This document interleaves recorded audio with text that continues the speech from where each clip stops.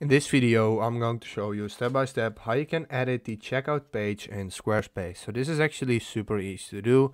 Uh, all you have to do is go to Squarespace, then log into your account and go to the website on your Squarespace account that you want to edit the um, checkout page design from. So once you're here, you want to go to design on the panel on the left and then you can see all the different normal pages that you have.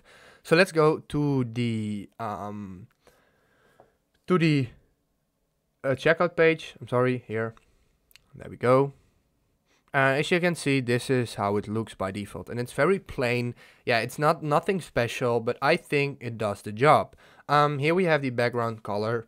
If we want to edit this to what color we have, so for example, um, nah, this doesn't really look good. Um, let's do something like this. Then the side logo, we can make it appear there. Um, I don't have a logo yet, but then it would appear there. Header color, red, header border color, so blue for example, that's the border color. And we can change the assignment of the header. And I don't have an header, uh, header text yet. But yeah, this is basically how you can edit this.